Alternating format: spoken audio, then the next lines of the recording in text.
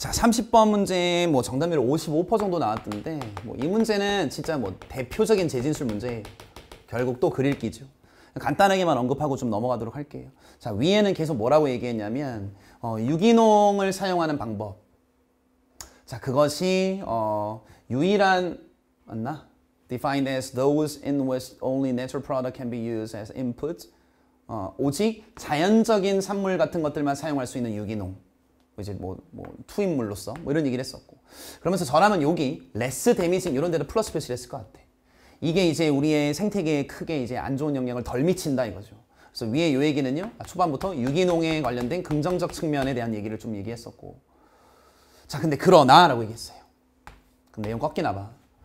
어, large scale의 adoption of organic farming 그러니까 큰 규모로 organic으로 farming하는 거. 그건 뭐 한다 그래야 돼? 안 좋다 이러면 될 거 아니야. 하우에 보니까 그러니 reduce yields and increase production cost를 증가시킨다. 아, 그러면 유기농 이 부분은 유기농의 large scale로 가는 것은 좀 안 좋은 걸 수도 있겠다. 뭐 이런 얘기를 갖다 쓴 거네요. 됐죠? 그래서 1번 선지도 뭐 크게 나쁘지 않고. 어, 이런 거 보이셨어요? inorganic nitrogen supply라고 했는데 뭐 질, 니트로젠, 질소 뭐 이런 거 나오긴 했지만 저는 근데 다른 것보다 인올게닉이 더 중요하다고 봐. 그럼 지금 문맥에서는 어떻게 나와야 되는 건데 야, 유기농 별로고 유기농 아닌 거 인올게닉 이게 훨씬 더 중요하지 않겠냐. 그러니까 여러분들 이센셜 이런 거 나온 거 이해되시죠? 됐니? 오히려 생산성의 어떤 높은 수준을 유지할 수 있는 가장 핵심적인 게 된다. 그러니까 비유기농이 훨씬 더 나을 수 있겠다 이런 얘기를 하는 거죠. 비유기농. 크게 나쁘지 않았었고. 자, 그 다음에 어... 어디를 좀 볼까요? 이런 거 또 나오네 얘들아. organic supply, 그러니까 유기농으로 이제 뭐 supply 하는 거 그것은 다 돼? 뭔가 좀 제한적이고 또는 expensive하다. 그러니까 안 좋은 측면 얘기하는 거네. inorganic보다 또 비교 대상 나오네. 아, 우리 지금 잘 읽고 있네. 게다가 라고 얘기했어. 그러면 주제의식 크게 안 바뀌겠네요. 소재만 좀 바뀌겠네요. There are benefits. 어떤 이득이 있습니다. 어? 이거 봐, 얘들아. 사라지잖아. 얘기했지. 미치겠네. 아무튼 베네핏이 있답니다. 라고 얘기했어요. 그럼 뭐에 베네핏이 있다라고 해야 맞는 말이 되는 거야? 비유기농에는 베네핏이 있다. 이렇게 얘기하면 괜찮은 거야. 근데 봐봐. To the expensive, 뭐야, extensive use of either manure, 각주에 나와 있지 않나? 거름을 사용하는 거 또는 레굼수, 콩과 식물 이런 거 사용하는 거. 어, 근데 이거 말하는 게 몰랐어도 이거 나오네. Green manure crops라고 했었어. 그러면 친환경 매뉴얼이라고 했습니다. 친환경.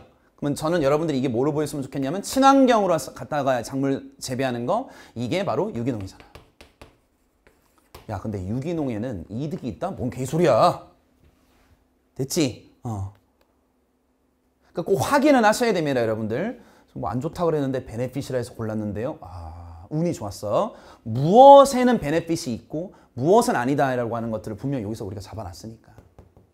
됐지요? 자, 4번까지만 확인합시다. 어, 많은 경우에서 weed control이라고 하는 거 can be very difficult to or require much labor이라고 했었어. 그러니까 봐. weed control이라는 게 뭔데? 잡초를 막 이렇게 막 통제하고 막 다 베고 막 이런 거 되게 힘든 일이잖아. 그러니 이게 수작업을 많이 필요로 한대. 뭐를 안 쓰면은 만약에 케미컬이라고 하는 것이 사용되지 않으면 이라고 얘기했다. 그럼 이게 어떤 문맥으로 해야 되더라? 다시 weed control, 잡초 같은 거 막 뭐 다 벗겨내고 막 이런 것들 이거 비유기농, 즉 케미컬 이걸로 사용할 땐 사용해야 된다라는 쪽으로 가야 될 거 아니야. 비유기농의 장점, 유기농의 좀 단점 얘기하고 있으니까. 그러니까 아 이걸 안 사용하면은 되게 일이 많아서요. 너무 힘들어요. 이렇게 얘기하는 거죠. 그리고 라고 얘기했어. 자, 저랑 수업 많이 하셨던 분들은 제가 뭐라 했냐면 어휘 문제에서 end는 유독 중요하다. 이 얘기 되게 많이 했어.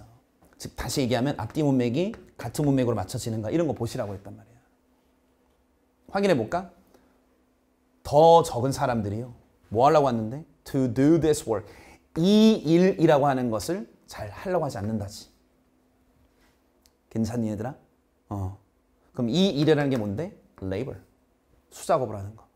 뭐 하면서 as society become wealthier 이제 사회가 점점 부유해지면서 아, 굳이 뭐 내가 손으로 하냐 이런 거 좀 이제 안 한다고 사람들이 됐지요? 그 말인즉슨 다시 한번 뭐 아, 유기농보다 그냥 비유기농, 뭐 비료 화학비료 쓸 수 있는 거 써야지. 뭐 이런 문맥으로 갔다고 이제 쓴 거죠.